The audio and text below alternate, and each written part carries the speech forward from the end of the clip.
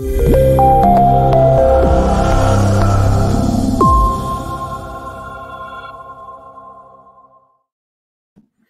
Dobry wieczór, witam Państwa serdecznie. Poniedziałek, pora wieczorowa. Zaczynamy nasz dzisiejszy poniedziałkowy program. Już za moment Państwa i moim gościem będzie profesor Ireneusz Krzemiński, socjolog, zgodnie z zeszłotygodniowymi zapowiedziami. Witając Państwa serdecznie, namawiam do tego, żebyście w wolnej chwili zaglądali na nasz kanał. Tam codziennie wpadają nowe filmy, nowe rozmowy z fantastycznymi osobami. Wszystko oczywiście na czasie, a wszystko to dzieje się dzięki Państwa stałemu wsparciu, za które pięknie dziękuję i niniejszym mam nadzieję na kontynuowanie tegoż wsparcia, bo dzięki niemu zrealizowaliśmy już ponad 600 programów. Zatem nie przedłużając, profesor Ireneusz Krzemiński. Dobry wieczór, panie profesorze. Dobry wieczór, dobry wieczór. Witam pana redaktora, witam państwa. Panie profesorze, to ja nie tyle, że chciałbym wrócić do komisji śledczych, bo cały tydzień e, komisji śledczych już się zaczął, Chciałbym, żeby Pan ze swojej strony powiedział, jak te komisje śledcze wpływają na nasz ogląd polityków, bo komentarze są bardzo mocno zróżnicowane i one dotyczą nie tylko tych, którzy się przed komisjami stawiają, ale także tych, którzy w skład komisji chodzą. Nie sposób mimo wszystko jednak nie odnieść się do e, tej ostatniej dużej komisji z udziałem prezesa Kaczyńskiego. Byli tacy, którzy spodziewali się, że komisja, proszę mi wybaczyć ten kolokwializm, pozamiata prezesem, ale dla niektórych, i to wcale nie dla pisowców, było zupełnie odwrotnie. Profesor Ireneusz Krzemiński. No, może najpierw generalnie parę zdań chcę powiedzieć, bo mi się wydaje, że no, chyba te komisje wypadają znacznie lepiej i są znacznie bardziej efektywne, tak mi się przynajmniej wydaje, niż te komisje śledcze, które, z którymi mieliśmy do czynienia wcześniej.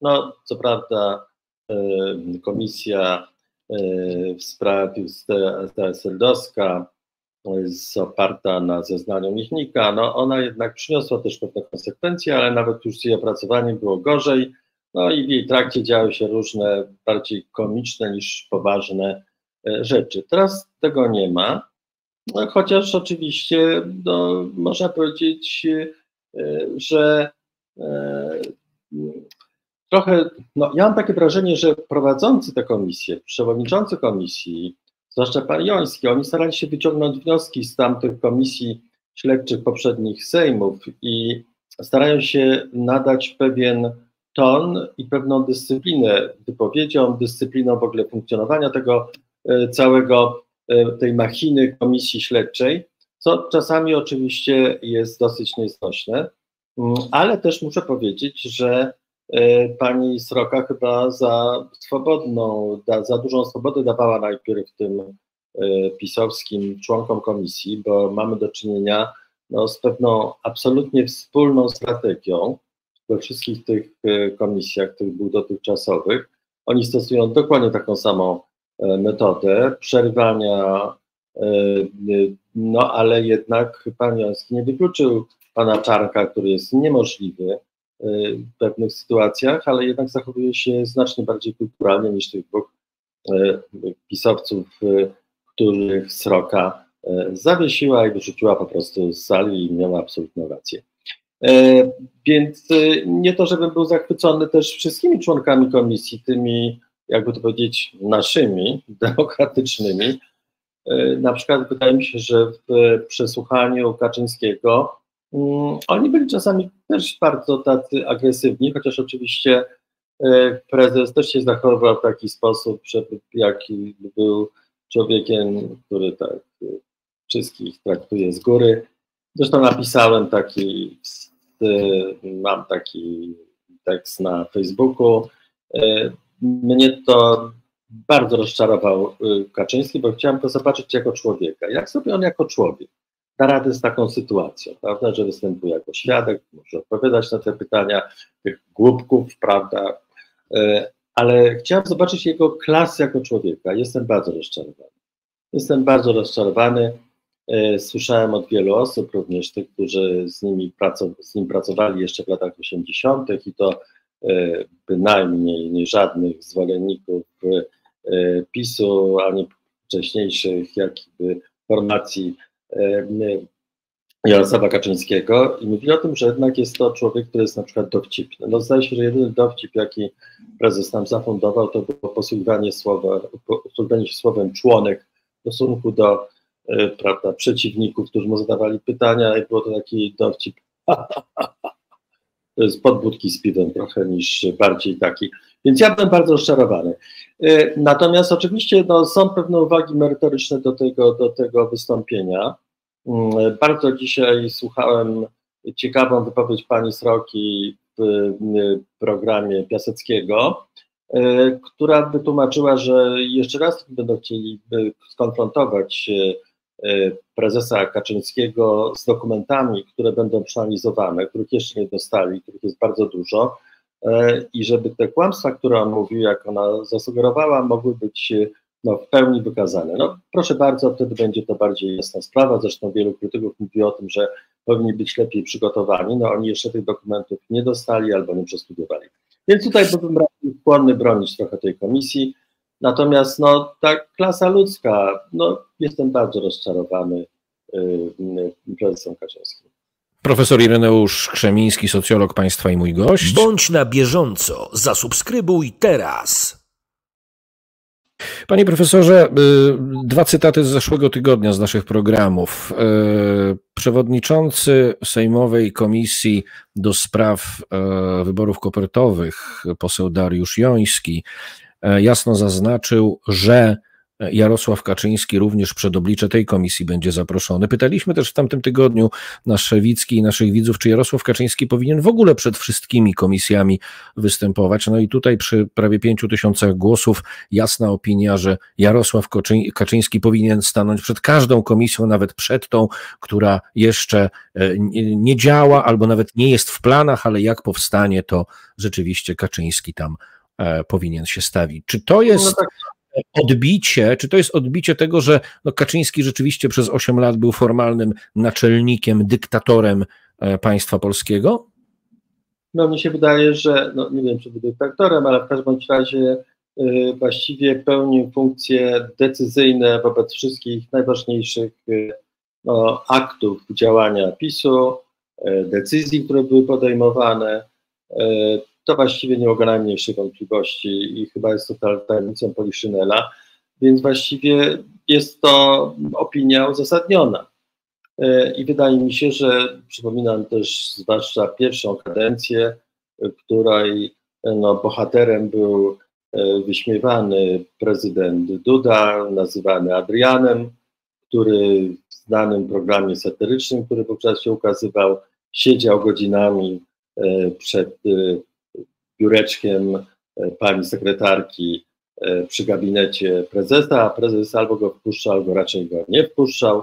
E, to zresztą bardzo dobrze oddawało rzeczywisty stosunek prezesa Kaczyńskiego do Dudy, po prostu obrzydliwie lekceważący, no taki w złym tonie właściwie, takie zachowania w złym tonie, które on prezentował wielokrotnie, które mogliśmy obserwować na ekranach telewizorów. Więc no, mnie się wydaje, że tak, tak, tak naprawdę było. To tak naprawdę było, że mi się wydaje, że nie było żadnych decyzji węzłowych, że tak powiem, w których by nie brał udziału i o których by nie decydował mm, jednak e, e, Kaczyński. Więc nie, nie wydaje mi się, żeby to była opinia, która by odbiegała od tego, co wszyscy wiemy przez te 8 lat, co donosiły no, te napoły wolne, czy no, na szczęście ciągle wolne media. Do prezesa Kaczyńskiego jeszcze wrócimy. Panie profesorze, mm, zakończy się kadencja prezydenta Dudy. No, nie za chwilę, ale zakończy się. Widzi pan byłego wtedy prezydenta przed y, komisjami śledczymi? A jeśli tak, to przed jakimi? No, ja sądzę, że to bardzo poważna sprawa. Może być nie tylko przed komisjami, przed Trybunałem Stanu, moim zdaniem, powinien stanąć z całą pewnością, ponieważ on jako prezydent i ten, który ma bronić konstytucji, on to regularnie łamał w ciągu pierwszego miesiąca urzędu odpalania dwa razy ją złamał, no raz to na pewno. Więc właściwie nie mamy o czym tutaj mówić. Więc e, na miejscu prezydenta Dudy byłbym teraz bardziej taki szukający porozumienia z aktualną demokratyczną opozycją, żeby jakoś tak uniknąć szczególnych batów, które mogą go spotkać później. E, wróćmy jeszcze, zgodnie z zapowiedzią, do mm, samego prezesa Kaczyńskiego i do zeszłotygodniowej rozmowy mojej z pańskim kolegą, profesorem Radosławem Markowskim. No taka cisza się nam zrobiła. Panie profesorze, e, profesor Markowski w zeszłym tygodniu w rozmowie ze mną powiedział wprost: żadnych komisji. Przestać się bawić w komisję wyłącznie postępowania sądowe. Co pan na to? No, ja byłbym zdania, że to też powinno być e, jakby szybciej uruchomione, bo tutaj prawdopodobnie będzie łatwiej e, zebrać takie dowody, e, które w sądzie będą miały znaczenie, niż ustalenia tych komisji śledczych, które no, tak trochę gorzej wypadają niż te śledcze komisje w Stanach Zjednoczonych, w Senacie czy tam w Kongresie, a zwłaszcza w Senacie, które miały wielkie znaczenie swego czasu, ale też trochę zbladły, ponieważ e, no, e, jest takie nagromadzenie potencjalnych przestępstw dokonywanych przez urzędników państwa PiSu, które można no, bardzo łatwo zadokumentować i właściwie po co się bawić wobec tego, mówiąc w skrócie, komisje śledcze, skoro może to zrobić e, sprawnie działająca prokuratura i sprawnie działający sąd. No to po ale co w takim razie, strony, przepraszam, ale z drugiej strony... Przepraszam, ale, to, to po co w takim razie bawimy się w komisje śledcze? Ale z drugiej strony komisje śledcze mają taki pewien element obywatelski, mają też taki e, element właściwie pokazania y, szerokiej publiczności, bo jednak one przynajmniej na początku były oglądane przez ogromną ilość ludzi, pokazania takich no, podstawowych problemów, no można wtedy zobaczyć, na czym polega taka strategia obrony tego PiSu, prawda, na czym polega ich atakowanie, na czym polega takie fundamentalne kłamstwo bez rzeczywistości, którą oni prezentują, yy, dlaczego to jest kompromitujące. Każdy może to zobaczyć i to jest właściwie coś niezwykle istotnego. Yy, czyli, czyli to jest coś, to, co ma taki no, znacznie większy wpływ na formowanie się opinii publicznej i postaw ludzi. Tak mi się wydaje, niż by zwykłe procesy sądowe, które nie są tak transmitowane, na ogół zresztą nie są w ogóle transmitowane i tak dalej, i są prowadzone w innym języku, znacznie bardziej takim jurydystycznym, by tak powiedzieć, prawda, i wobec tego niedostępnym dla przeciętnego, zwykłego człowieka. Tu mamy wszystko jasno na białym, poza tym no, tu się pokazuje też taka no, no, złożoność świata, prawda, to są tacy pisowcy, którzy są bardziej uczciwi, bardziej rzetelni, bardziej obiektywnie coś chcą powiedzieć. Są członkowie komisji, którzy mają z góry oczywiście takie bardzo silne nastawienie emocjonalne wobec tych, których przesłuchują, inni starają się je jakoś dystansować, znaleźć taki punkt widzenia, żeby traktować tego świadka w możliwie zobiektywizowany sposób. Ci świadkowie różnie się zachowują. No, to jest takie też, no tak jak powiedziałem, mnie interesowało, żebym zobaczył Jarosława taką klasę Jarosława Kaczyńskiego, ludzką. E, no, wypadło kiepsko na etykietka inteligent Żoliborza, to bardzo mi do niego pasuje. Profesor Ireneusz Krzemiński, socjolog państwa i mój gość. Jeśli chcesz być na bieżąco, wspomagaj nasze niezależne działanie. Szczegóły znajdziesz pod każdym filmem. Dziękujemy za Twoje zaangażowanie. A teraz, panie profesorze, przejdźmy na chwilę na drugą stronę barykady politycznej, czyli na stronę demokratyczną.